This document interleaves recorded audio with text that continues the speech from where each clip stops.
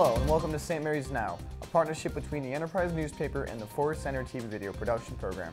I'm Raymond Graham, And I'm James King. and here's the latest news from the Enterprise. This year, 23 seniors from St. Mary's Public Schools will graduate from Maryland's Seal of Biliteracy program. Four from Chopticon, seven from Leonardtown, and 12 from Great Mills. Wendy Tarr, St. Mary's Public School Supervisor of Instructions for World Languages said, earning the Seal of Biliteracy is a prestigious achievement and signifies that a student has demonstrated competency in English and another language, providing them a competitive advantage as they continue their education. St. Mary's Ryken High School gets a new principal. Kathy Bose, a 25-year Baltimore County school administrator, returns to her hometown as the new school principal. She will be taking the position of Rick Wood. The newly selected leader expressed her joy upon being chosen for the position. I love my job and I love education, and I admit I love St. Mary's. And I think in the back of my mind, I always wanted to go home.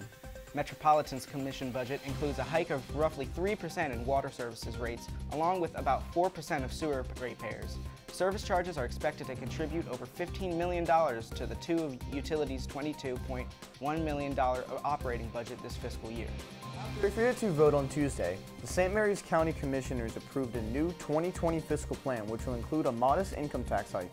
John O'Connor, who voted against this budget, says that the commissioners took the easy way out by proposing to increase property and income taxes. The property tax rate will increase from 3% to 3.17% starting January 1st.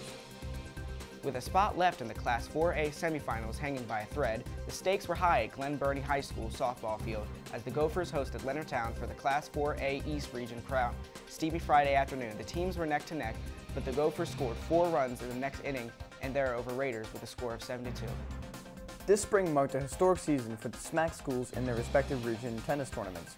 For the first time, region tournaments were played within the school's classification of 1A through 4A rather than just geographic location.